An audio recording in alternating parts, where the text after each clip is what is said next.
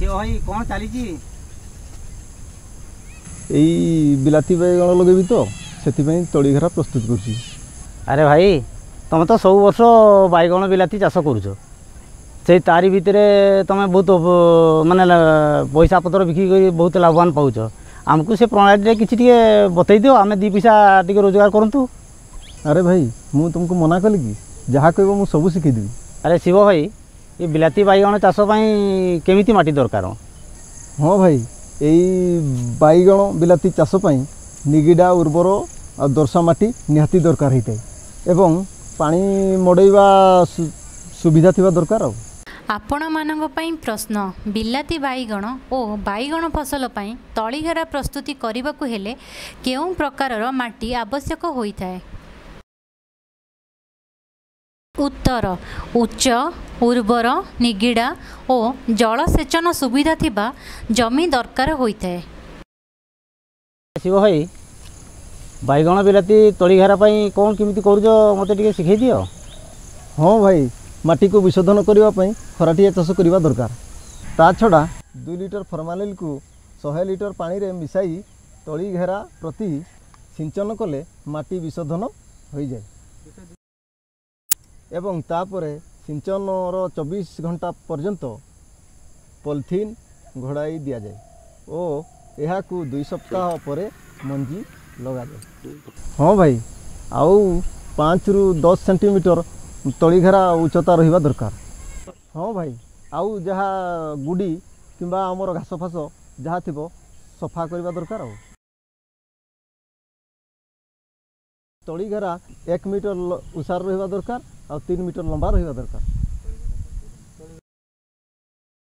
ଆଚ୍ଛା ଭାଇ ତଳିଘେରା ତ ଶିଖେଇଲ ମଞ୍ଜି ବୁଣିବାଟା କେମିତି ସେ ବିଷୟରେ ଟିକେ ଶିଖାଅ ହଁ ଭାଇ ବାଇଗଣ ବିଲାତି ପାଇଁ ଏକରକୁ ଦୁଇଶହ ଗ୍ରାମ ମଞ୍ଜି ନିହାତି ଦରକାର ହେଇଥାଏ ପ୍ରତି କେଜି ମଞ୍ଜି ପାଇଁ ଦୁଇରୁ ତିନି ଗ୍ରାମ କ୍ୟାପ୍ଟାନ୍ କିମ୍ବା ଥିରାନରେ ଉପଚାର କରି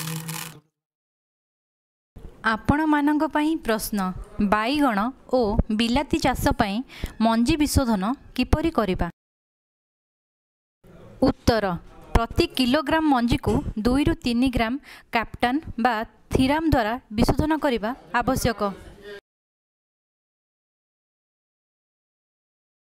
ପାଞ୍ଚ ସେଣ୍ଟିମିଟର ବ୍ୟବଧାନରେ ମଞ୍ଜି ବୁଣାଯାଏ।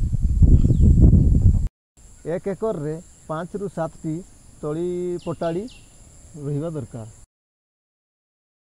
ଆଚ୍ଛା ଶିବ ଭାଇ ବାଇଗଣ ବିଲାତି ଚାରା ରୋଇବା ପାଇଁ କେତେ ଦିନର ତଳି ଦରକାର ପଡ଼ିଥାଏ? ହଁ ଭାଇ ବାଇଗଣ ଚାରା ତିରିଶରୁ ପଇଁତିରିଶ ଦିନ ଓ ବିଲାତି ଚାରା କୋଡ଼ିଏରୁ ପଚିଶ ଦିନ। କିନ୍ତୁ ତଳି ଗୁଡ଼ିକ ଲଗାଇବା ପୂର୍ବରୁ ମୁ- କପର ଅକ୍ସିକ୍ଲୋରାଇଡ୍ ତିନି ଗ୍ରାମ ସହିତ ଷ୍ଟ୍ରେପ୍ଟୋସାଇକ୍ଲିନ୍ ଶୂନ ଦଶମିକ ଏକ ଗ୍ରାମ ଏକ ଲିଟର ପାଣିରେ ମିଶାଇ ଦ୍ରବଣ କରି ଅଧା ଘଣ୍ଟା ପର୍ଯ୍ୟନ୍ତ ବୁଡ଼ାଇ ରଖିବା ଦରକାର। ଆଚ୍ଛା ଭାଇ ବିଲାତି ବାଇଗଣ କେତେ ବ୍ୟବଧାନରେ ଗଛ ଲଗାଇବା ଦରକାର? ହଁ ଭାଇ ଭଲ କଥାଟା କହିଲ।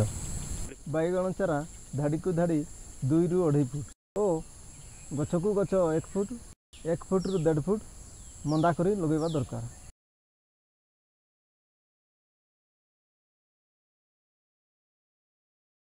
ଏବଂ ବିଲାତି ଚାରାକୁ ସେହିଭଳି ଧାଡ଼ିକୁ ଧାଡ଼ି ଦୁଇରୁ ତିନି ଫୁଟ ଓ ଗଛକୁ ଗଛ ଏକରୁ ଦେଢ଼ ଫୁଟ ରହିବା ଦରକାର। ଆଉ ଗୋଟେ କଥା ଭାଇ ମନେ ରଖ ଚାରା ଲଗାଇବା ପୂର୍ବରୁ ପଚାଶ ଗ୍ରାମ ଲିମ୍ବ ଆଧାରିତ ପାଉଡ଼ର କୀଟନାଶକ ପ୍ରୟୋଗ କରିବା ଦରକାର। ଆପଣମାନଙ୍କ ପାଇଁ ପ୍ରଶ୍ନ ବାଇଗଣ ବିଲାତି ଚାରାକୁ କେତେ ବ୍ୟବଧାନରେ ଲଗାଇବା ଆବଶ୍ୟକ?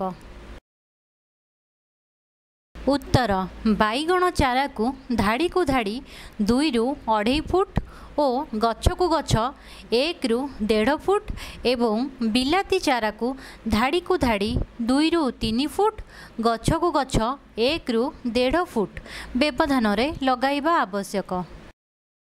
ହଉ ଶିବ ଭାଇ ଏ ବାଇଗଣ ବିଲାତି ଚାଷ ପାଇଁ ମୋତେ ବହୁତ କିଛି ଶିଖେଇଲ। ଏଥିପାଇଁ ତୁମକୁ ବହୁତ ଧନ୍ୟବାଦ।